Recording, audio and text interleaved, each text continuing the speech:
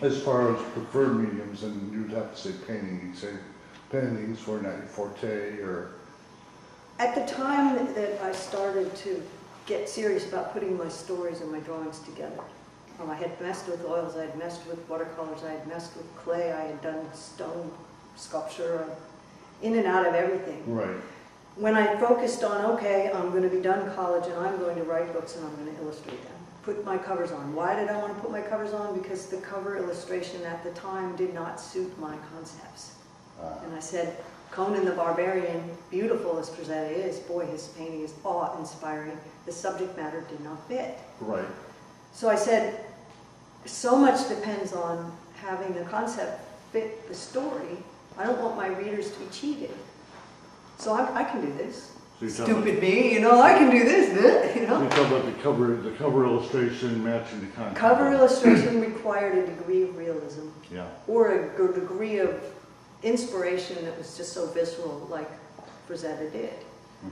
You couldn't really do it in pen and ink. Now, there were artists who came after who did. Thomas Canty certainly persisted with his amazing stuff, and he broke the mold, and he got it accepted. So it, I figured that I'd have to toe the middle of the line. I mean, breaking in as a writer illustrator, that's hard enough. And I found I really liked oil paintings. I really do. There's something about them that works for me. Um, but I bounced around acrylics and everything else in between until I settled on that, and it just became comfortable because I liked it. There was there was a synergy there. So I had to start out in illustration illustrating for other people. So I had to look enough like the marketplace that I could get in, but obviously not copying somebody else. So I never got the quantity of covers that anyone who focused strictly on art would have. But I did break in as a professional painting and illustrating, um, self-taught. okay. So, and then as I got that, then I got the first novel. Now I began to put it together. Now I very seldom do anything for somebody else's work. It's mostly just doing what I'm trained to do. Okay, that's a very, very, very good point, and um, I have become illuminated and educated by that. Um, over the short time that I've been here, I've been talking, um, something came up. We talked about um, a lot of the absence of um, um, call it female intuition or um, female influence in our world. I have not, you're the first female artist I've spoken to. And it seems to be, there are more coming up. But you're kind of a forerunner. In, in a sense, you're a forerunner for these that are coming behind you. Are there,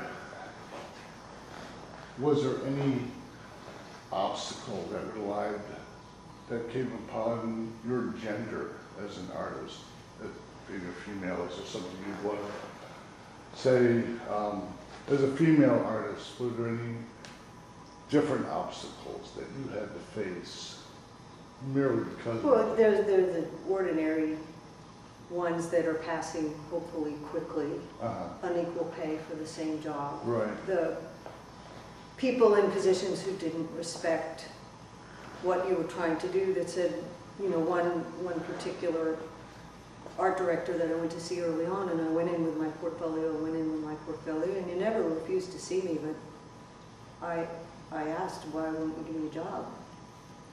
And he said, because in five years you're going to be barefoot and pregnant. And I simply closed the door and said, don't need to go back to see him again. And another one that took a long time to get a job and found out later, he get, waited because he thought I had a boyfriend paying the bills.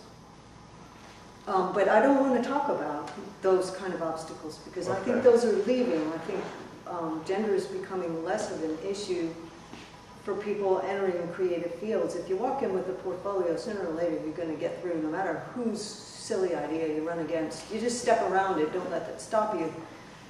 I think what you're driving for is really the, the denigration of the feminine side of life, not just women. Imagination is not respected like science is. Mhm. The concrete is not, is far more um, acceptable than the formless idea that may create something concrete. The idea of emotions, get them out of the boardroom, that kind of prejudice. Mm-hmm. If you experiment with your brain and you think a thought, you're going to discover if you really listen that thought and feeling are interconnected. A thought is going to create a feeling. And you can change the feeling by changing the thought. Mm-hmm. The thought foreruns that feeling or follows the feeling, but usually an event or an impact or thought.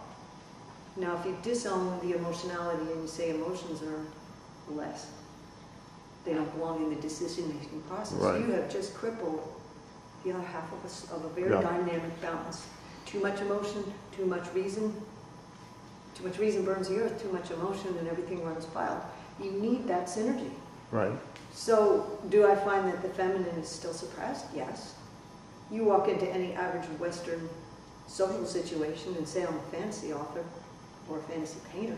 Oh, you work for children, don't you? Well, these are not, these are powerful concepts. They're not just for children. Right. If we cannot imagine a different future, we will never have the inspiration to reach for That's correct. and we will never make concrete anything. Uh, the number of times where imaginative concepts have foreran our choices are a million. That- That's it. That's what separates us from the animals in many ways, is that ability to imagine and then choose to pursue or not to pursue. To imagine a future and go, this is not a road I want to take. Mhm. Feeling tells you, don't take that road, right? Right. So without the feminine side, with, you know, you don't always need the logical cure, you might need the imaginative one. Why is the imaginative one considered less? Why is emotionality considered girlish? Yeah.